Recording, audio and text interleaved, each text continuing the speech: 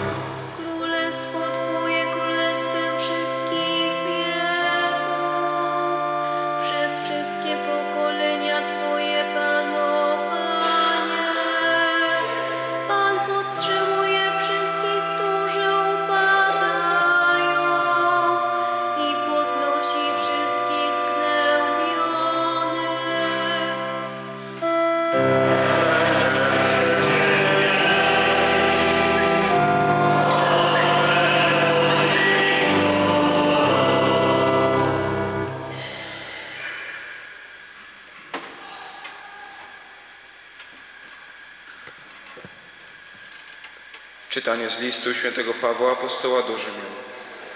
Bracia, wy nie żyjecie według ciała, lecz według ducha, jeśli tylko Duch Boży was mieszka. Jeżeli zaś ktoś nie ma Ducha Chrystusowego, ten do Niego nie należy.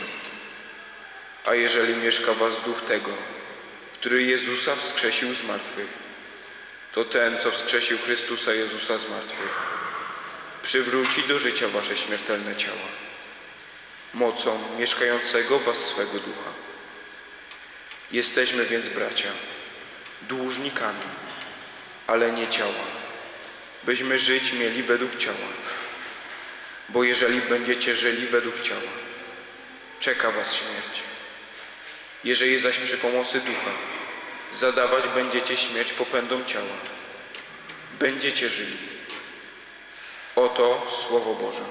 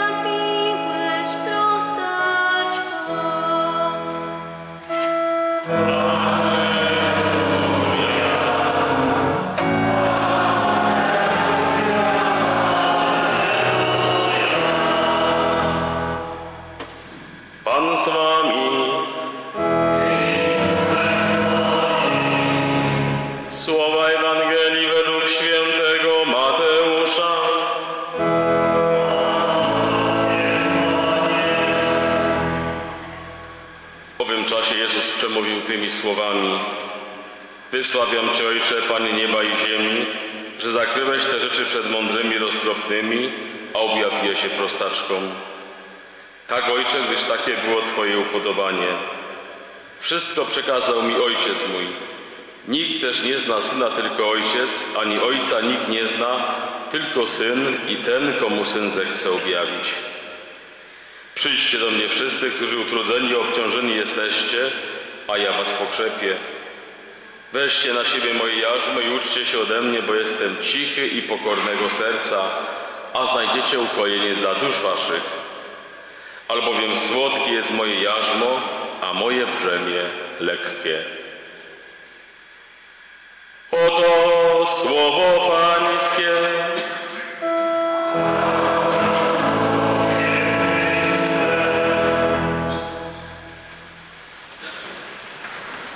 List pasterski Konferencji Episkopatu Polski dotyczący beatyfikacji czcigodnych słów Boż- Bożych, słów Bożych Józefa i Wiktorii Ulmów i ich siedmiorga dzieci.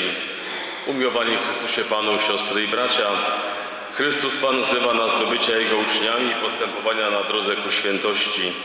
Szczególnym wzorem świętości realizowanej w życiu małżeńskim i rodzinnym są Józef i Wiktoria Ulmowie, którzy wraz z siedmiorgiem dzieci oddali życie, ratując rodziny żydowskie w czasie II wojny światowej. Robili to w imię wierności Chrystusowi zgodnie z przykazaniem miłości bliźniego. Ich heroiczna śmierć była zwieńczeniem ofiarnej miłości realizowanej dzień po dniu, w zwyczajnych okolicznościach życia małżeńskiego i rodzinnego. Dnia 10 września bieżącego roku zostaną oni wyniesieni do chwały ołtarzy jako męczennicy. Będzie to beatyfikacja, jakiej jeszcze nie było w historii Kościoła. Będzie to beatyfikacja bez precedensu, ponieważ po raz pierwszy cała rodzina zostanie wyniesiona na ołtarze i pierwszy raz zostanie beatyfikowane dziecko jeszcze nienarodzone. Przygotowując się do uroczystości beatyfikacyjnej, pragniemy kontemplować ich świętość i zaczerpnąć z niej przykład dla współczesnych małżeństw i rodzin. Rodzina Józefa i Wiktorii Ulmów mieszkała na początku XX wieku w Markowej na Podkarpaciu. Cieszyli się siedmiorgiem dzieci. Józef, jako głowa rodziny, troskę o najbliższych łączył z ciężką pracą na roli. Był przy tym otwarty na rozwój i zdobywanie wiedzy. Mimo trudu, jaki wkładał w, pro, e, jaki wkładał w prowadzenie gospodarstwa, potrafił znaleźć czas, aby oddawać się pasji fotografii, pszczelarstwu, hodowli jedwabników, introligatorstwu i sadownictwu. Sam skonstruował aparat fo- fotograficzny i wiatrak, który służył do wytwarzania energii elektrycznej. Wiktoria Ulma z domu Niemczak to wzorowa, kochająca żona i matka, dbająca o dobre katolickie wychowanie dzieci.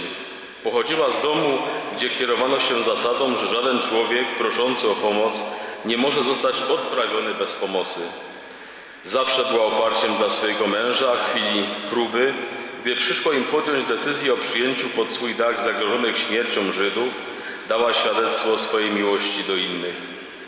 Starała się wprowadzać życzliwą i przyjazną atmosferę w domu, podkreślając, że rodzina powinna opierać się na wzajemnym szacunku, życzliwości i oddaniu.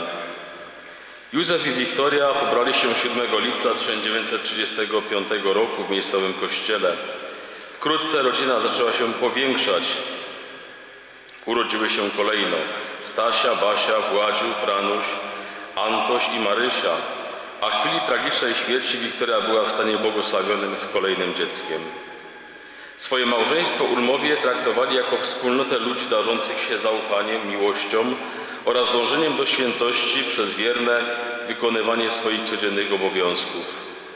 W ich życiu realizowała się istota sakramentu małżeństwa, w którym sam Chrystus pozostaje z nimi, daje im moc pójścia za Nim i wzięcia na siebie swojego krzyża, podnoszenia się po upadkach, przebaczania sobie wzajemnie, wzajemnego ponoszenia, wzajemnego noszenia swoich ciężarów.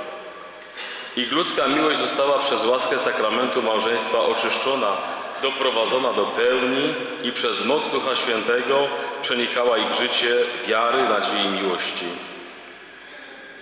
Zwyczajność ich małżeństwa opierała się na prawdziwych i konkretnych gestach, poprzez które Bóg ma swoje mieszkanie w tej różnorodności darów i spotkań. Żyli obietnicami złożonymi w dzień ślubu, realizując co dzień przymierze wiernej miłości małżeńskiej. Józef i Wiktoria odczytali powołanie do, do szczególnego współuczestnictwa w stwórczym dziele Boga, przekazując życie siedmiorgu dzieciom. Mimo trudnych warunków nie bali się przeciwności losu, ufali Bożej opatrzności. Wierzyli, że Bóg obdarzając życiem daje jednocześnie siłę, aby w pełni zrealizować powołanie do rodzicielstwa. Byli zatroskani o dobre wychowanie swoich dzieci w oparciu o wartości ewangeliczne. Prowadzili oni życie wiary pod własnym dachem. Przekazywali dzieciom żywą wiarę poprzez przykład życia i naukę modlitwy. Dzieci uczyły się rozmawiać z Bogiem, widząc jak czynili to rodzice. Wiktoria jako kochająca matka poświęcała czas swoim dzieciom, pomagając im w nauce, dbając o ich wychowanie i wykształcenie. Życie czcigodnych sług, Boż- sług Bożych Józefa i Wiktorii składało się z niezlicznych ofiar i uczynków miłości dnia codziennego. Owocem przyjęcia tego stylu życia stała się heroiczna decyzja pomocy skazanym na zagładę Żydom. Nie była ona pochopna, lecz wynikała z lektury Słowa Bożego, które kształtowało ich serca i umysły, a tym samym postawę wobec bliźniego. Biblia była dla nich autentyczną księgą życia, co potwierdzają podkreślone fragmenty Ewangelii, szczególnie przypowieść o miłosiernym Samarytaninie. Ulmowie, starając się żyć jak Chrystus, realizując na co dzień przykazanie miłości, byli gotowi oddać swoje życie za bliźnich. Józef i Wiktoria zdecydowali się przyjąć ośmioro Żydów, mimo groźby kary śmierci ze strony Niemców za pomoc w ukrywaniu Żydów. Na strychu ich niewielkiego domu schroniły się trzy rodziny Goldmanów, Grunfeldów i Didnerów. Przez wiele miesięcy zapewniali im dach nad głową oraz wyżywienie, co w czasie wojny było nie lada wyzwaniem. Ich pełna ofiarności postawa miała swój tragiczny finał 24 marca 1944 roku. Wtedy do ich domów wtargnęli niemieccy naziści, którzy w okrutny sposób rozstrzelali ukrywanych Żydów, a następnie na oczach dzieci zamordowano Józefa i Wiktorię. Dopełnieniem tragedii było zabicie dzieci. Józef i Wiktoria Urmowie, mając absolutną świadomość ryzyka, poświęcili życie, aby ratować Żydów będących w potrzebie. Ich heroiczna postawa jest świadectwem tego, że miłość jest mocniejsza niż śmierć. W oczekiwaniu na beatyfikację wpatrujemy się w przykład jakże niezwykłej rodziny, która osiąga, osiąga świętość w zwyczajnych okolicznościach życia. Jest ona inspiracją dla współczesnych małżeństw i rodzin. Przygotowując się do uroczystego wyniesienia na ołtarze męczenników z Markowej, chcielibyśmy zatem lepiej poznać ich rodzinę, która nie zawahała się otworzyć swoich serc dla ludzi będących w potrzebie. Wszystkim serca błogosławimy w imię Ojca i Syna i Ducha Świętego. Amen.